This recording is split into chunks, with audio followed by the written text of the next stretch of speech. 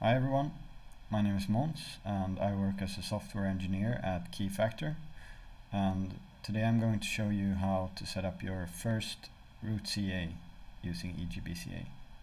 We are going to start by creating a certificate profile. So we're going to go to certificate profiles here in the left menu. This step is optional, but certificate profiles are a great way to customize your certificates. And since we're creating a root CA today, I'm going to go ahead and clone the built-in root CA profile by clicking clone here. And I'm going to name this new profile my root CA profile. And then I'm back in the list and I'm going to go and click edit on the new profile. And here I want my new CA to use RSA keys. So I'm going to choose RSA from the list here. And I want the key length to be 4096 bits. So this will be the available option for any certificate created based on this profile. And you could choose more than one option here if you would like to. I'm also going to change the maximum validity time to 30 years here because I want my certificate to last for a really long time. And there are a lot of other things you could customize in your profile, but we're going to keep it simple today and I'm simply going to remove some things that we don't need. So from the X509 extensions, I'm going to deselect authority key ID as well as subject alternative name and issuer alternative name. And further down here under other data, I'm going to deselect LDAP DN order.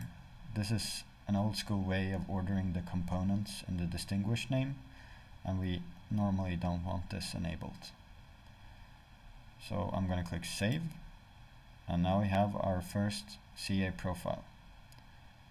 So the next step is to create a crypto token to use with our CA. So I'm going to go to crypto tokens here in the left menu.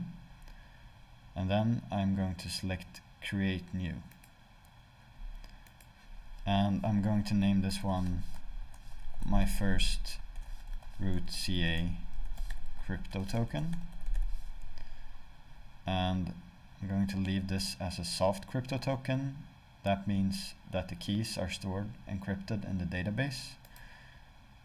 When you want to use a crypto token in production, we recommend using an, an HSM.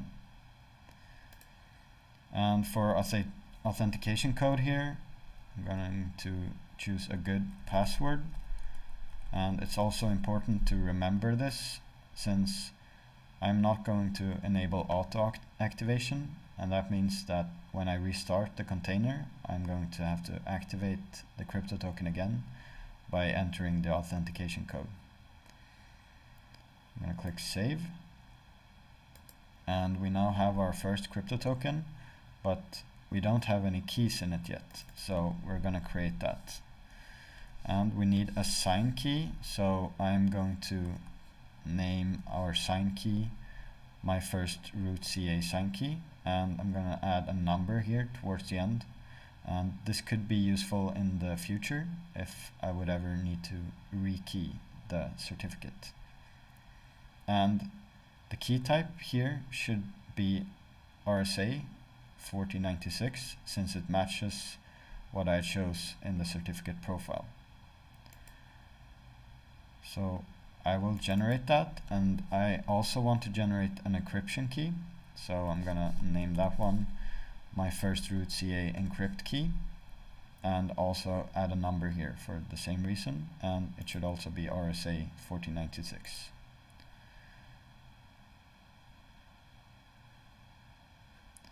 It is also good to have a test key so I'm just going to create one called test key here and I'm going to change the key size of this one to 2048 uh, just to save unnecessary computations.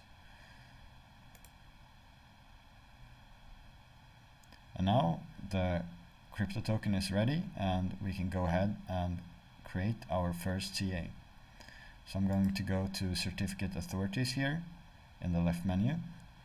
And under, add CA I am going to uh, put in a name and I'm gonna call this one my first root CA and click create.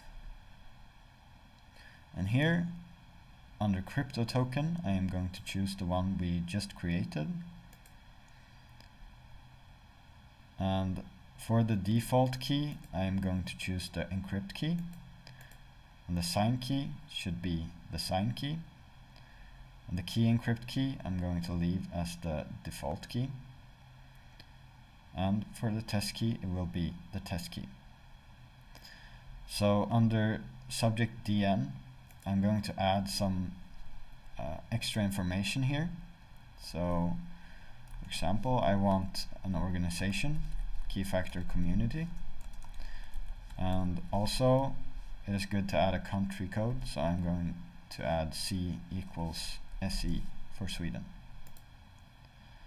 And for validity time here I want 30 years.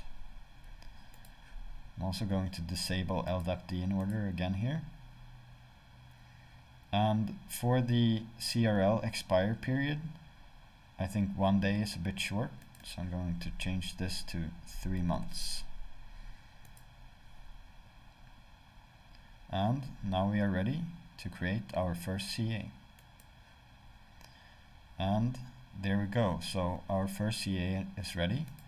Uh, a natural first step uh, for configuring this CA could be to go to edit CA and you could then define uh, distribution points for your CRL for example here but this will be covered in future video tutorials.